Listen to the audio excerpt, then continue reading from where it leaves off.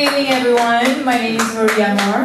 I sing, I dance, but not as good as Vanjie and Bob and Ruben. Um, we promote health, fitness, wellness, beauty, and arts through Exotifit for Humanity, a non-profit organization. and also our my entertainment and fitness company called Exotifit by Maria Amor. Ruben is one of our future teachers who will be representing Exotifit by Ruben. So thank you so much, and uh, again, it's nice to see all of you, my co-Filipino people.